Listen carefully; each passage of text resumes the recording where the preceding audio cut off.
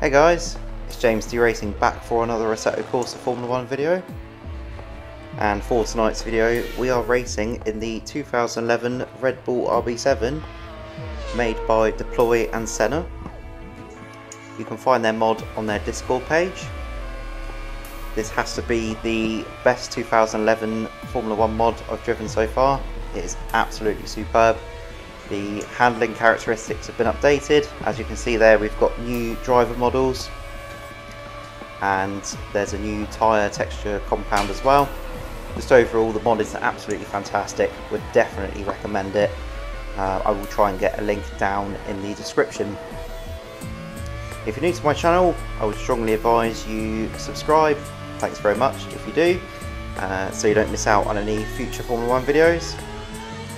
But for now, hope you enjoy the hot lap. Hope you enjoy it. Thanks very much for watching.